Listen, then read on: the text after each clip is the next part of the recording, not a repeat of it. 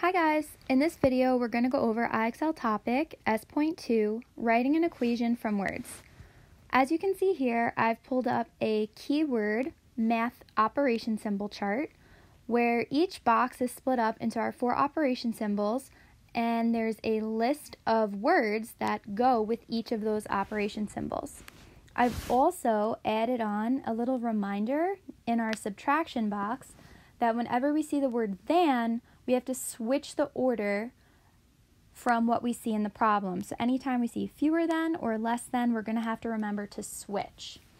Okay, let's get started. We're going to pull up S.2 and I'm actually going to write on our little notebook paper because you know me, I like to have an extra visual. So let's start. Number one, J reduced by 215 equals 92. So we're going to write it exactly how we see it, and everywhere we can turn a word into a math symbol, we're going to do that. So J reduced by is going to be subtraction. What number is it being reduced by? 215 equals 92. And now we're going to type that in. So we're going to do J minus 215 equals 92. Very good. Let's look at number two. N less than 18 is 332. Okay, here is one of those keyword that's a flip word. Okay? We're going to have to remember when we write this that it's going to switch the order. So instead of n less than 18, that's going to be written as 18 minus n equal to 332. I'm going to type that in here 18 minus n equals 332. Woohoo!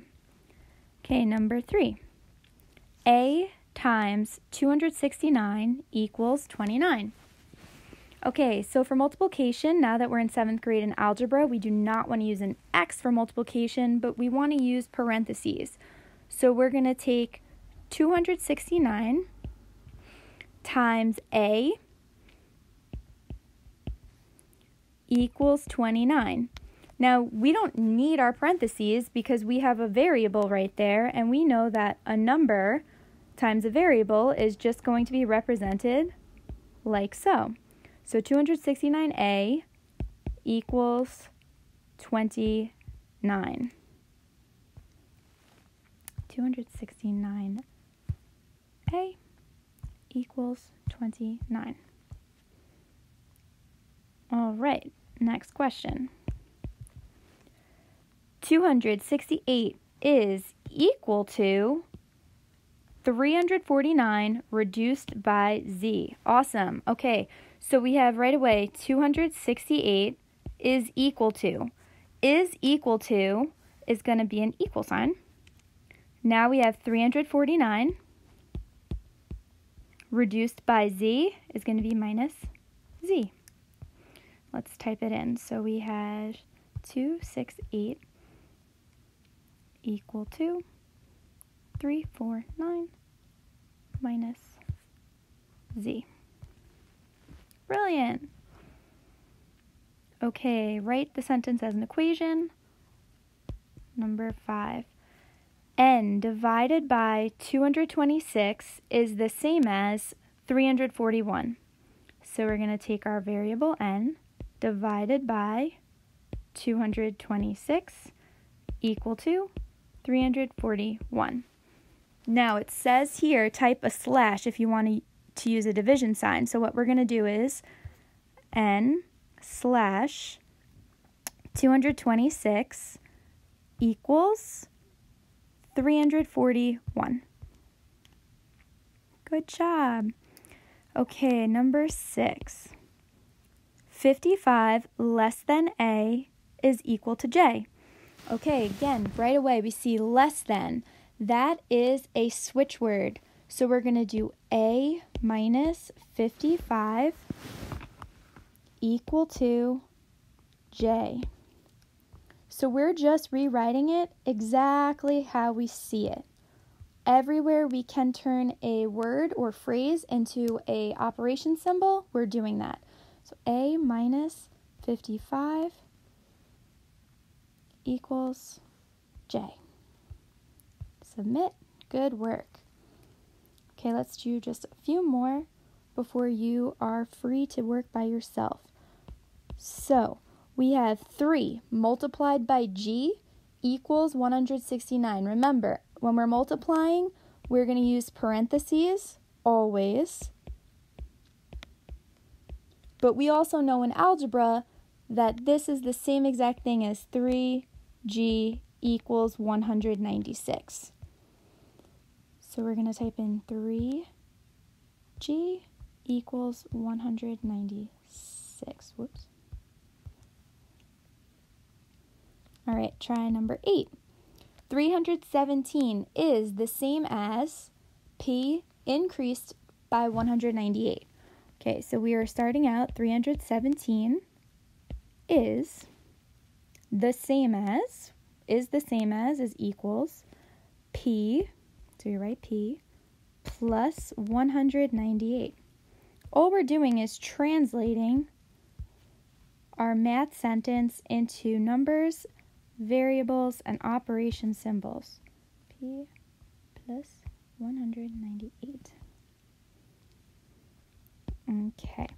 C reduced by 193 is equal to 206. So C reduced by is subtraction. 193 is our next number, is equal to 206. We're going to type that in. C minus 193 equals 206. 74 equals the product of 379 and n. So 74 equals product is a multiplication keyword. So we're going to multiply 379 times n which we know can be written as 74 equals 379 n right next to each other. So 74 equals 379 n. Okay, let's just do a couple more and then you'll be free. C is 184 increased by the product of 145 and C. All right, let's translate. So it says C is, so C equals 184 increased by. So 184 increased by is addition. The product of 145 and C. So we're multiplying 145 times C. So our final answer is going to be C equals 184 plus 145c, like that. Let's just make it a little neater. Okay, c equals 184 plus 145c. Okay, number 12. 339 is 16 more than the quantity k times 12. Ooh, they're getting harder. I love it.